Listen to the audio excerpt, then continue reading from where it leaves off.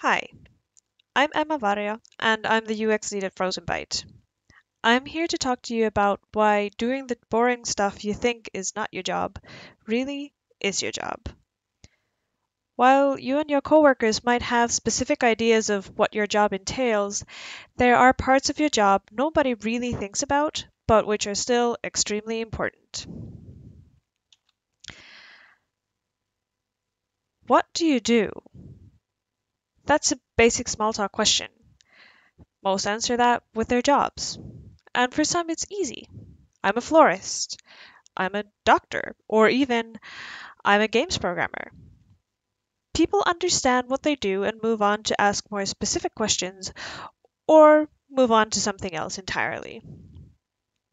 Answering, I'm a games user researcher or games user experience designer often leads to a lukewarm, oh, which can be followed by, so what do you do? What do you say to that? You might talk about concrete things you do, such as wireframes or prototypes, the different kinds of user tests and surveys you run, etc. Or you might talk about specific outcomes, such as how the inventory system works in this game. Of course, you might combine it, saying, I prototype different ways of handling the inventory to find the best one, or I ran several tests to help iterate on the best kind of inventory. But thinking of your day to day work, is that really what you do? I, for one, talk to people a lot.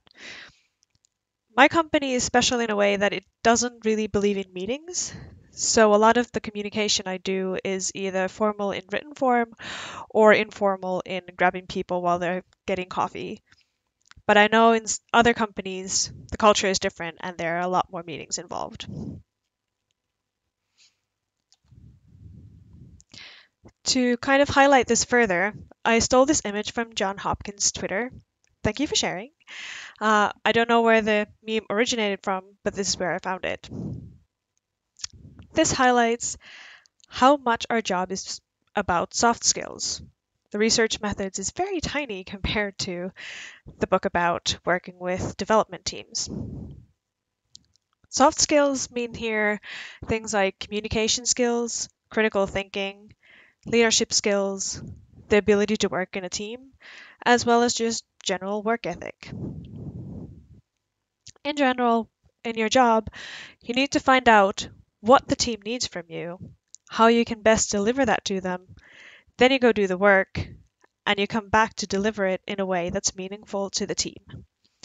None of that's easy, and as you kind of could have mentioned, uh, noticed, doing the work is very small part of that sentence. It's also a very small part of the job.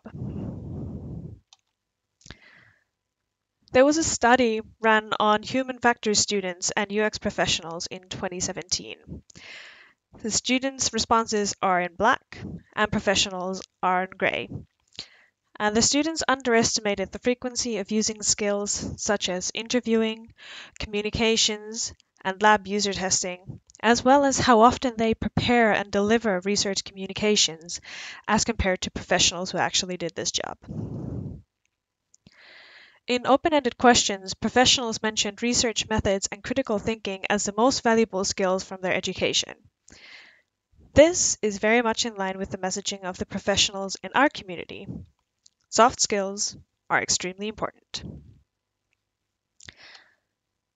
I ran a similar study on our community. I shared it on Grogstick Discord, LinkedIn, and my Twitter.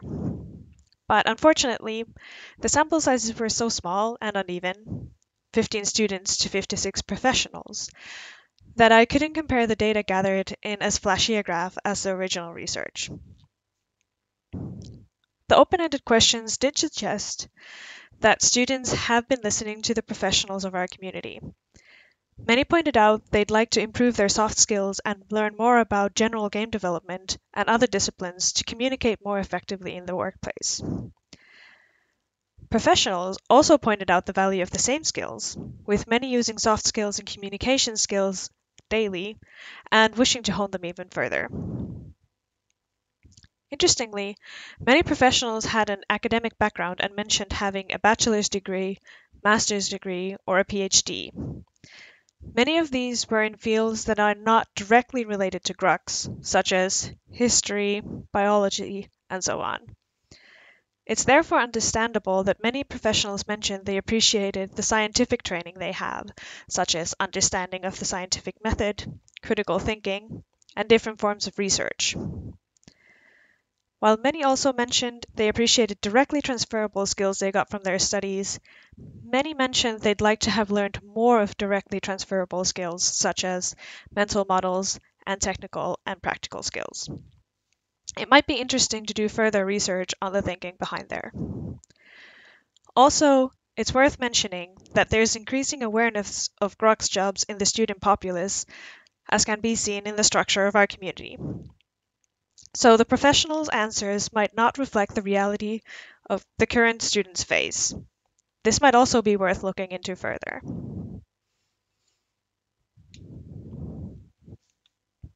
So, are the hidden parts of our work. I also include parts that take longer than you think because if you ignore them, they're hidden. There are many talks given and books written on different methods, and even a great book written on games user research specifically. So let's assume that there's enough material on different methods of Grux, and instead look at the more hidden part of our work, namely communication. What all does that entail? Why is it hidden? And why is it part of my job even though it doesn't feel like it?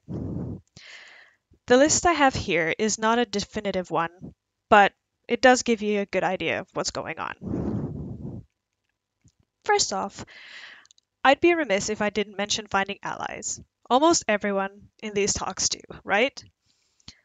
But finding allies doesn't happen by just sending a company wide email when you first join a company saying, Hello, I'm your new Grux person and looking for allies. Become one by replying to this message. If you've done this, or ever do this, let me know how it goes. But even if this gives amazing results, I'm willing to bet good money you had to or will spend more time building the relationship with the allies you gain than just writing that email. In general, it's a good idea to keep tabs on what they're doing and, if possible, involving them in your process through discussions, workshops, having them join in on a research session, and so on. And to be clear, potential allies can be anyone from your coworkers. They can be a designer, a programmer, from QA, marketing, um, community management, or general management, and they can be a junior, a manager. It doesn't matter. As long as they're working with you and can support you in any way, they could be a valuable ally. Teamwork. More likely than not, as a Grux professional, you'll have to work with other people. You'll have to get to know them and their habits to work as well as possible as a team. This on top of the actual work you do as the team, of course. Keeping current. While keeping current in games, um, games industry in general and methods that you could use, what I mean here is keeping current with your projects. Depending on the UX maturity of your company and project teams, depending, you could have several or just one, um, as well as your level of seniority, it's likely you won't always be handed ready thought out research questions and assigned the best methods to get the answers to them, or a ready thought out UX design problem that you just have to build a single draft for. There can be times you can uh, you need to convince the team that they even need research or UX design to begin with, and after that you can start working out what kind of things you could best help with. This is where finding allies comes in very handy, as while they might not have the answers ready, they are more willing to help you get to them. Sharing results, following up, and affecting change. Once you've actually done the job of researching or designing, you need to hand it off and ensure it's impactful. Whether this is done by creating a presentation of the research findings and presenting it to the team, or documenting your final design solution, this takes time. This is one of those things that you know is part of your job, but can take a lot longer than you think. Also, it's advisable to follow up with the team later on to see whether they've actually done anything with your research findings or designs, rather than just jumping on to the next problem, hoping for the best.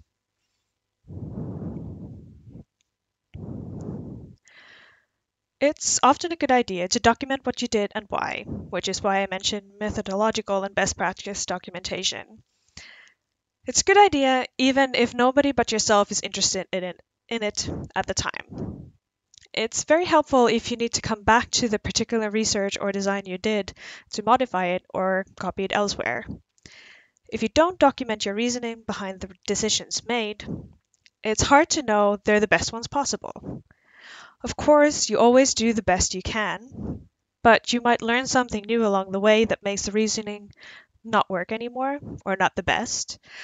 Um, or you could be faced with a similar but not quite the same situation and need to take that into account and thus can't just redo what you did before as is. And in the best of cases, others are actually interested in what you do and how you do it, and documenting it increases awareness of you and your job in your workplace. I've also added unofficial project management or logistics or other duties. This is more of an anecdotal thing, but I've gotten one's anonymous feedback that I talk a lot to everybody, but the person who gave that um, feedback suspected it was probably okay, and at least it didn't do much harm. A while later, I left the project, and the team figured out that it really did a lot of good to have me unofficially transfer information between disciplines and sometimes even within disciplines. There's another example when I joined a project to help out with a few specific UX related things, but ended up doing project, manage- project management things instead. The team had been working together for years and it was very small. So they never made a design document for the game. They felt they didn't need it. But as I was a new worker, I needed it. So once we had that done, the team realized that wow, this really makes our lives easier. So even when they felt they didn't need it, they really did. This all just to say that depending on your company and projects, you might end up doing very different things or at least revealing the need for various things that weren't thought of before.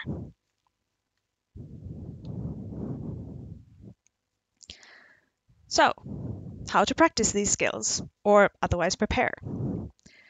First off, hopefully you won't need to do work, work outside of your agreed upon role, but it does help to have a general understanding of other disciplines as well, as it does significantly help with communication. Relating to this, whether or not you have to do tasks outside of your role, it's good to discuss expectations at the start of the projects for everyone involved, both you, what you expect from others, and what they expect of you. This should help prevent some communication issues from happening. Thirdly, you probably have tons of opportunities to practice these skills even and even situations in your life already.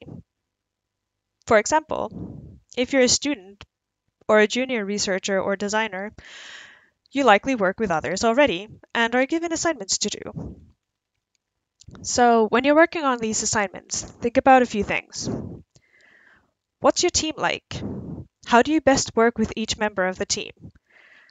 Not just in terms of skills, but when and how to communicate with them, when and how to give feedback, and so on.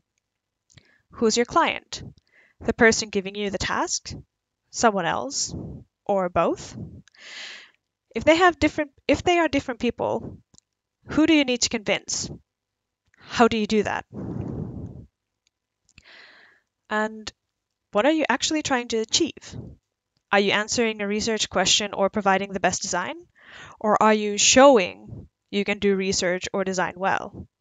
It could be a little bit of both. seeing if you're in school, you have to do the work and also show that you can do the work.